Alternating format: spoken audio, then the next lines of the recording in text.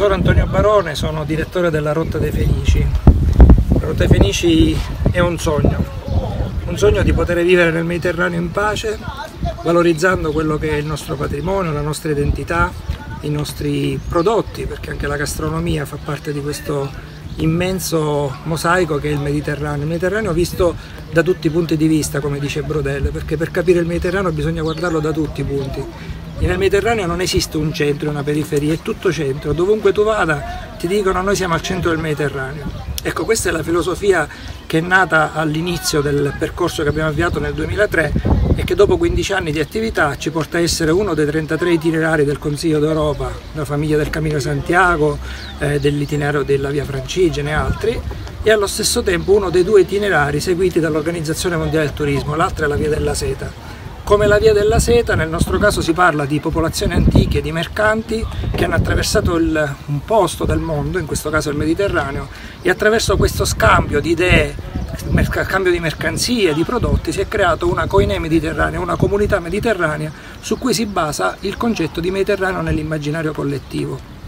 Da un punto di vista operativo noi lavoriamo soprattutto su tre temi. Il tema culturale, quindi parlare delle antiche civiltà come base per capire il Mediterraneo di oggi, capire perché oggi noi facciamo tre con le dita in questa maniera, perché questo vuol dire essere mediterraneo, questo vuol dire essere americano, questo vuol dire essere celtico, questo vuol dire essere americano.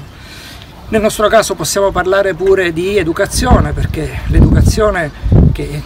base di tutte le attività di tipo culturale parte proprio dal concetto di eh, Mediterraneo come luogo dove imparare modi di essere, modi di vivere. Noi parliamo di pedagogia del patrimonio perché il patrimonio in qualche maniera ci insegna qualcosa e anche una pietra ci può raccontare tanto. E poi, conseguenza di questo, l'aspetto turistico, cioè proporre un viaggio diverso. Il Mediterraneo è già una destinazione turistica a livello internazionale da, da tantissimi anni, ma in questo caso puntiamo su un nuovo modo di viaggiare e di conoscere il Mediterraneo, che tenga conto di culture, di tradizioni, di modi di essere, di lingua, ma allo stesso tempo proponga anche modi di affrontare questi temi. Per questo trattiamo il tema dell'interpretazione, interpretazione comunicativa, per cui l'approccio non può essere solo quello tradizionale della visita culturale in cui una guida ti dice cosa vedere e cosa ascoltare, ma è un approccio che coinvolge tutti e cinque i sensi, in cui la gente sia protagonista di questo processo cognitivo attraverso l'esperienza. Turismo esperienziale di conseguenza, turismo lento, turismo sostenibile perché dobbiamo guardare al futuro del Mediterraneo non solo all'oggi, ma anche turismo creativo una nuova branca del turismo che sta nascendo da pochi anni, da circa vent'anni, e che è stata lanciata all'Università di Barcellona dal professore Richards e che ha preso sin dall'inizio come esempio la rotta dei Fenici. In collaborazione con la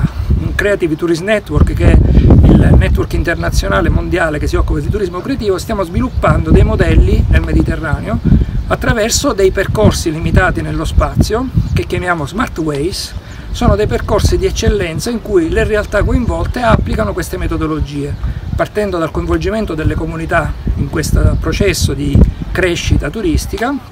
turistica e culturale direi, e che applicando la Convenzione di Faro del 2005 sul valore del patrimonio per le società sviluppa i cosiddetti Faro Forums. Sono delle, dei gruppi di comunità che sviluppano attività e iniziative partendo dalla coscienza del patrimonio che loro hanno nel loro territorio, quindi una riscoperta del proprio territorio con occhi diversi. Proprio quello che dice eh, il famoso detto non abbiamo bisogno di nuove terre ma di nuovi occhi per vederle, quindi questo è il modello a cui si ispirano reti internazionali che partono dal Libano fino al Portogallo e con la collaborazione di organismi come l'Organizzazione Mondiale del Turismo Sociale, la Federazione Europea degli Itinerari Storico-Culturali, l'Osservatorio Turistico delle Isole Europee e delle Camere di Commercio, mettiamo in piedi dei percorsi partendo dalla gente. Si tratta di rivedere anche certi concetti, le figure professionali coinvolte. Per esempio puntiamo attraverso un progetto Erasmus, si chiama All Tourist, sulla figura del facilitatore territoriale, cioè di colui che aiuta il territorio a creare i percorsi, le filiere virtuose da proporre al turismo. È un meccanismo a mosaico, sono tanti pezzi del territorio che devono essere messi insieme per raccontare delle storie che la gente può costruire caso per caso, mettendo insieme i temi che gli sono più congeniali. Allora l'appassionato di storia e di cultura seguirà certi percorsi, l'appassionato di gastronomia altri, chi vuole andare così alla ricerca di un'identità del territorio può seguire altri percorsi ancora. Questo spiega anche perché oggi vi abbiamo proposto una serie di esperienze completamente diverse. Siamo passati dal comune di Sambuca di Sicilia, uno dei comuni di eccellenza della rotta, che ha puntato sulla qualità, prima la qualità del recupero del centro storico, un quartiere saraceno, attraverso poi dei meccanismi di premialità, vedi Borgo più bello d'Italia, bandiere eh, Borghi d'Italia e tutto il resto che ne conseguirà, per cui la comunità partecipa a questo processo di riconquista del proprio centro storico per creare delle opportunità per i giovani. Siamo stati poi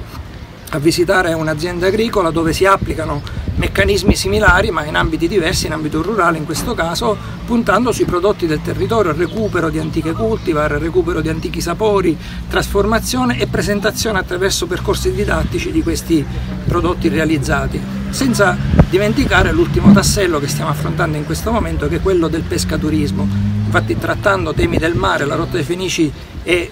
idealmente il Mediterraneo, le antiche rotte nautiche frequentate dagli antichi popoli come vengono proposti oggi, il pescaturismo diventa uno strumento di comunicazione e di sintesi attraverso quello che è una tradizione antica quanto l'uomo del prendere dal mare il sostentamento per la propria vita. Ecco, tutto questo vuol dire rotta dei Fenici. I nostri riferimenti a questo punto chi sono? Sono le persone curiose che vogliono affrontare il Mediterraneo con occhi diversi, Abbiamo recentemente realizzato un tour della Sicilia col mensile plein air con i camperisti proponendo una Sicilia diversa, ma lo stesso possiamo fare come faremo in, a breve all'isola d'Elba, lo possiamo fare in Spagna, in Francia, in Tunisia, a Malta, in Croazia, cioè tutto il Mediterraneo a questo punto riacquista una formula che è, diventa un modello di sviluppo, un modello di collaborazione. La rotta dei Fenici a questo punto non è più un itinerario, è diventato un modo di vivere che noi proponiamo a chiunque voglia scoprire un territorio con occhi diversi e per questo anche